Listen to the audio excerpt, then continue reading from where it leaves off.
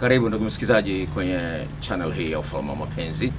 Leo nakuletea mada inayosema jiongeze.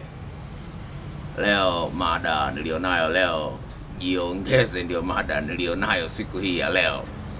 Napozungumzia swala la kujiongeza, namaanisha jinsi gani wewe unaweza ukadhibiti makosa ya kwako na ya mwenzio ili usiumie. Hakuna kitu kibaya duniani kama kuumizwa na mtu ambaye unampenda. Sasa mtu ambaye anakupenda alafu anaendelea kukuumiza, anazo sababu zake ambazo uzielewi.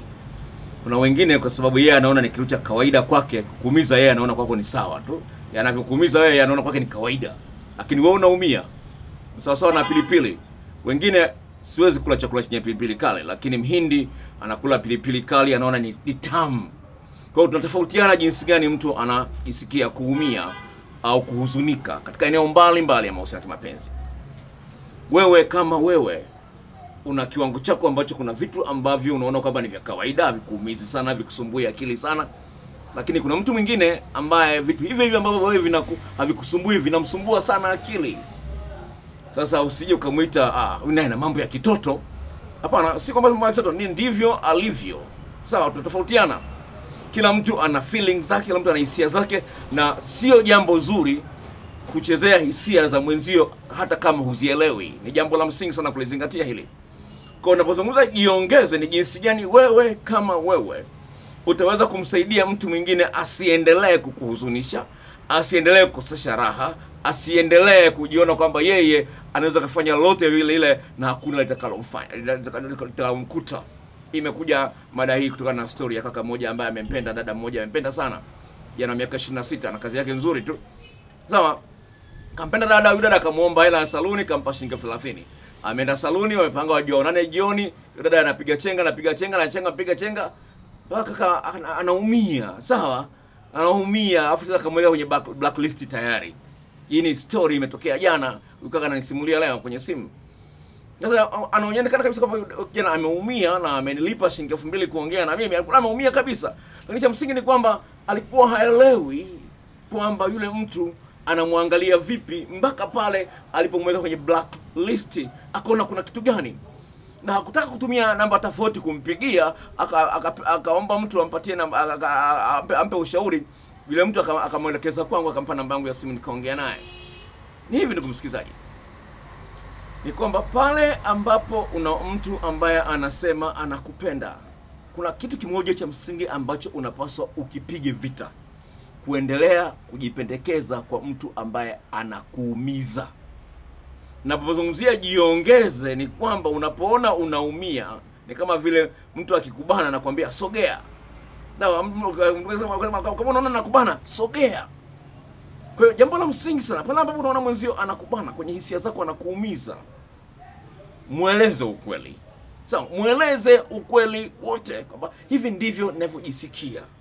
Ni hivi, kama vile usivyoweza kuzuia mvua isinyeshe, huwezi ukazuia kuumia kwa mwenzio. Mwenzio ataumia kwa kuchelewa kupokea simu yako, simu yake au kwa kushindwa kumpa zawadi mara kwa mara au kwa kushindwa kutoka naye outing, ataumia. Kwa kushindwa kumwita baby au honey, kumwita tu wewe, ataumia. Lakini sasa ninachozungumza ni kwamba huwezi ukazuia mtu kuumia, kama vile huwezi ukazuia mvua isinyeshe. Kutokana na ukweli huo, basi, iwapo unampenda mtu, jitahidi kuheshimu hisia zake, hata kama huzielewi, na kama huzielewi, at least muombe akueleweshe. Napozungumza jiongeze, ni kwamba jiongeze iwapo kweli huyo mtu unamthamini. Kuna vitu unamuumiza, huko unaviona kawaida, lakini jiongeze ili asije akakuacha, ili asije akakubadilikia. Jiongeze, uangalia, lakini hapo huenda namuumiza, huenda hapa sitendei haki. Nimekumbuka story moja, sawa sawa, nimekumbuka story moja, sawa. Yani, yani huyu mtu huyu mtu kwanza nimeshaitoa hapo. Huyu kijana ana, ana, anasomea udaktari sawa, anajua ana tatizo la kuwahi kumaliza, anajua linamkera mke wake, mpenzi wake sawa, eh, mpenzi wake anasomea nursing sawa, lakini anamwambia kwa nini uniache na hili tatizo linanisumbua?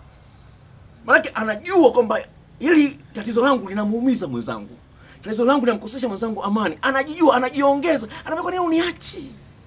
Lakini dada akamwambia anakupenda, siwezi nikakuacha, nitakusaidia kuliondoa hili tatizo.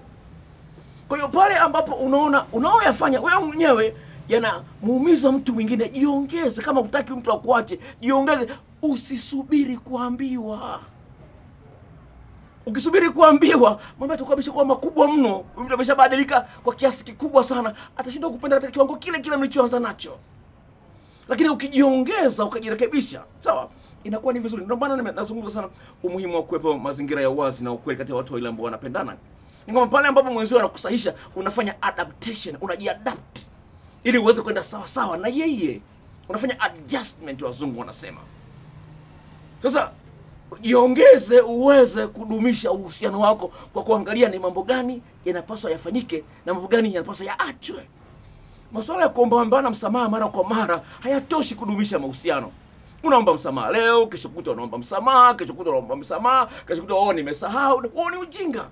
Jiongeze. Kwa nini usiwe makini? Unapoona mpenzi wako analalamika, kwa nini upokee simu kwa wakati?